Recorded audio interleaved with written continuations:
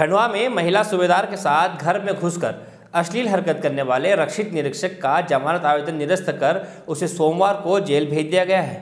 खंडवा न्यायिक मजिस्ट्रेट प्रथम श्रेणी सपना पटवा ने आरोपी रक्षित निरीक्षक राहुल देवलिया, पिता मदन गोपाल देवलिया, उम्र 40 वर्ष, निवासी सिविल लाइन खंडवा का जमानती आवेदन निरस्त कर उसे जेल भेजने के आदेश दे दिए हैं।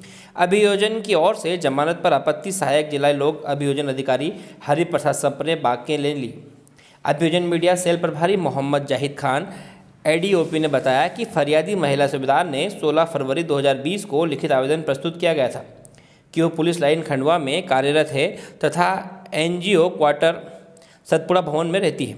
15 फरवरी 2020 की रात को करीब तीन चार बजे उसके घर में प्रवेश कर रक्षित निरीक्षक देवलिया ने आकर बुरे नियत से बदसलूकी की और उसके पद का रोप दिखाया। इसकी शिकायत महिला सूबेदार ने सीनियर अधिकारियों को की और अपने मंगेतर को भी की और अगले दिन कोतवाली में एफआईआर दर्ज करवाई थी।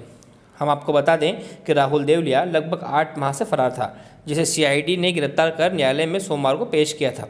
खंडवा से ब्यूरो की रिपोर्ट। हेलो फ्रेंड्स आप देख रहे हैं हमारा channel S W twenty four news हमारे सारे वीडियो सबसे पहले देखने के लिए आप हमारे चैनल को सब्सक्राइब करें और पास में लगे बेल आइकन को दबाना बिल्कुल भी ना भूलें।